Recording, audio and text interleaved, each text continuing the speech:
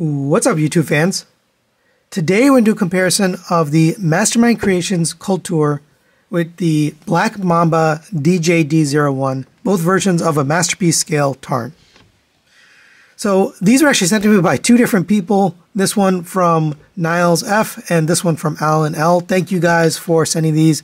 Um, they're actually good friends, so I appreciate them both sending these and allowing me to hold on to these for this comparison.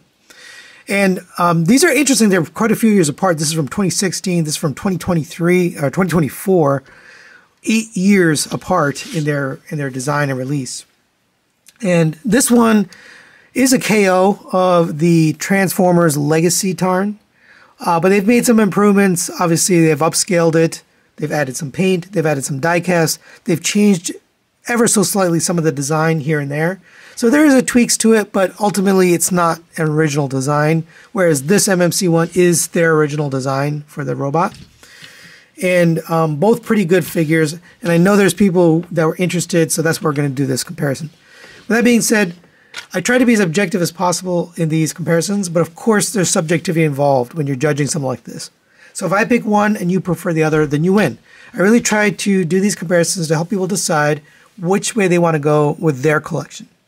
With that being said, let's get started. We're going to start off with accessories and gimmicks. All right, and normally I lay out the accessories in front of them, but there aren't really much. They both come with their dual cannon here attached. They're both painted and sculpted nicely. They look really good. The KO Black Mamba comes with this black sword, painted and sculpted nicely. This is actually the sword from the Legacy Bludgeon. So you do get the one extra accessory here on the Black Mamba. Now, whether you want to call this a gimmick or an accessory, let's talk about gimmicks now. The MMC has a removable mask. So if you take off the face mask, underneath there's an actual another face that is painted and detailed. So you can unmask him. I think that's a nice option for MMC. But then this guy comes with light up guns. Um, I don't have the batteries in there, but they both light up. They have a little button right here.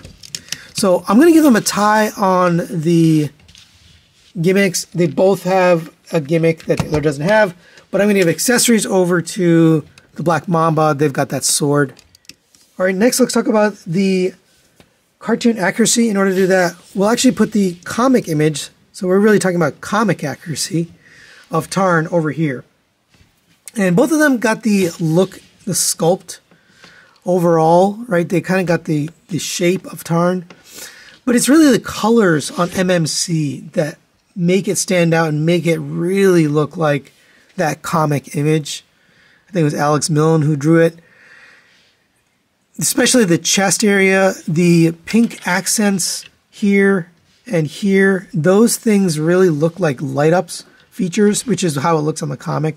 On this one, it's just pink paint. It doesn't really look like it's a light up feature. Also, the color of the purple and the pink is a little off from the comic image. Now, I do really like how this looks, but it just doesn't nail that cartoon, that comic image. So we're going to give cartoon accuracy over to MMC. When it comes to sculpt, both are pretty darn clean uh, from the front, from the side, pretty much equivalent. When you get to the back, that's where MMC, they, they did a different design. So instead of using these upper arm pieces, the shoulder pieces for the actual treads, they ended up putting a second set of treads on the legs, whereas the Black Mamba, it uses the treads that are on the shoulders as the treads for the vehicle mode. So, and again, that's not their design. That was designed by Hasbro.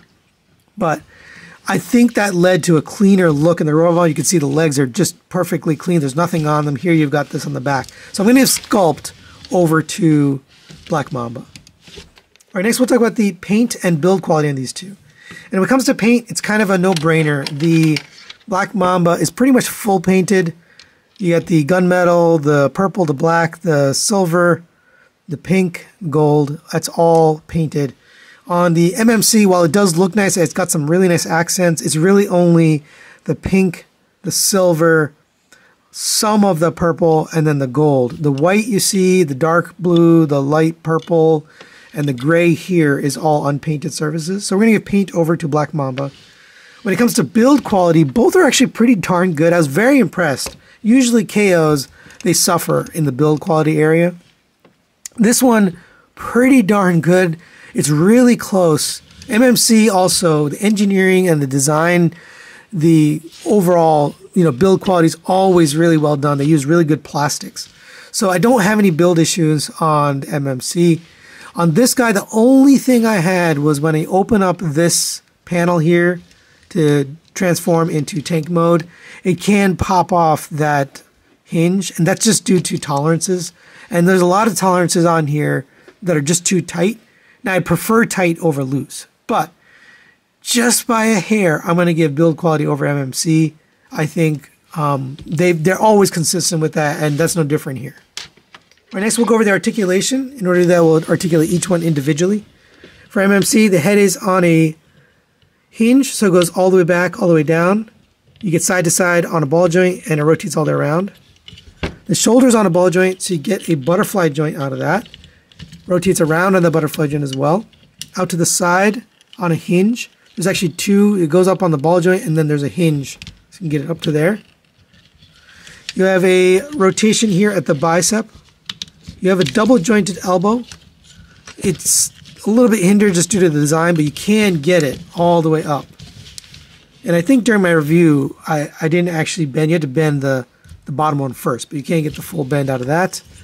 You have a rotation at the wrist, single pin for the fingers, individual fingers not there. These will articulate in and out as well. At the waist, you have waist rotation, ab crunch. Does have a little locking point, but it gets you down to there. You have legs kick up to there, back to there, both on ratchets, up to the side on ratchets, rotation at the thigh. And by the way, I didn't mention this guy doesn't have any ratchets, so I did give the build point to MMC, but the ratchets also kind of support the, the build quality point there.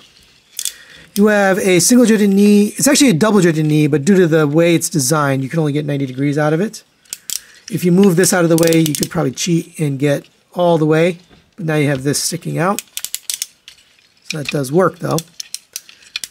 You have ankle tilts out to there, back to there, forward and backwards, and a toe tilt.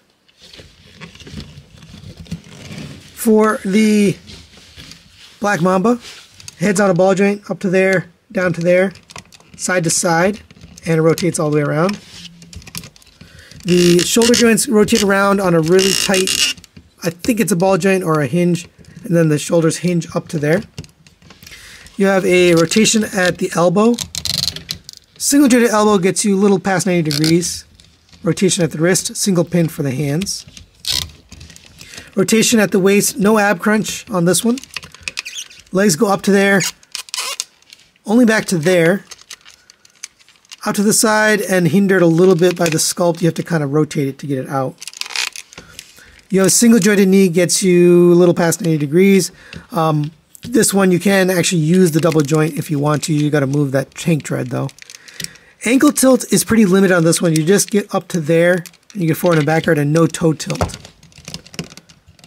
So due to having the ab crunch the double jointed elbows and knees and the toe tilt on the MMC. We're going to give articulation over to MMC. They just do a really good job on articulation, and this figure is no exception. All right, next let's talk about the transformation and engineering. When it comes to transformation, both of these are actually pretty simple and fun, straightforward. There's a couple of panels in this guy that are a little bit on the tight side, but certainly not uh, you know, frustrating or annoying transformation. Just a few steps that are a little bit too tight. This one, very smooth and, and very fluid. Um, and I'm going to give engineering over to MMC. I think they just are really good at designing things and transformations that flow.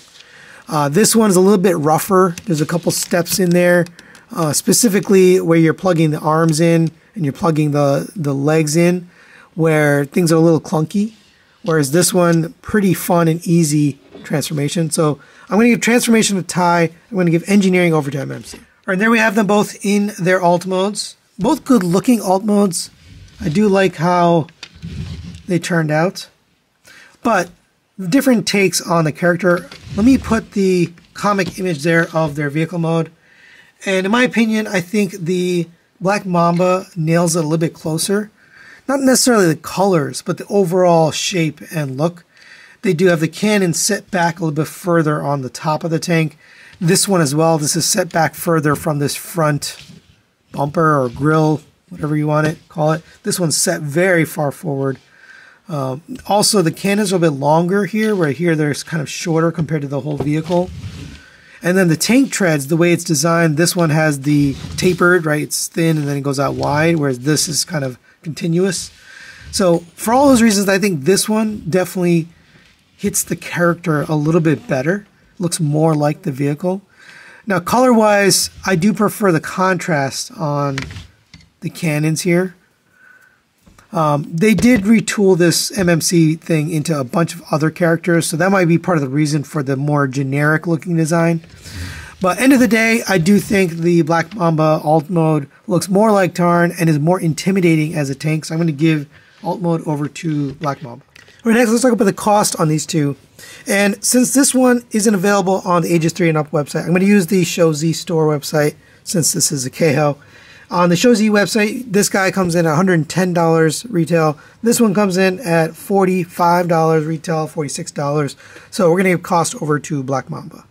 And the final factor here in this comparison is the members choice category, where I ask my members which one they prefer just based on their own personal preference and no other factors. And you can see that the MMC is going to win the members choice category. So final thoughts on the comparison, you can see the score there, and it's a dead tie. And I am actually pretty surprised. I didn't think it was going to be this close. My personal opinion, I thought MMC was going to kind of crush it. Um, but there's some things that this knockoff really does well. You know, Black Mamba's pretty good at oversizing things um, and improving them, you know, from their original product. This one is no exception. It is an improvement over the original Legacy figure. Um, but it does stand toe to toe with this MMC version. So I think you'd be happy with either one of these. Now, it's very hard to ignore the price point and the price difference. The value you're getting with this one, you know, basically an MP scale and, you know, paint and, you know, sculpting materials figure for $45. Really good bargain. Um, but I do think I prefer the look of MMC overall, my personal preference. So if I was buying one of these, I'm not, but if I was, I'd probably go for the MMC personally. Um, but this is a great option for a masterpiece scale collection. So that's it for today. Thanks to Alan and Niles for allowing me to borrow their copies of these figures. Thanks for watching. We'll see you next time.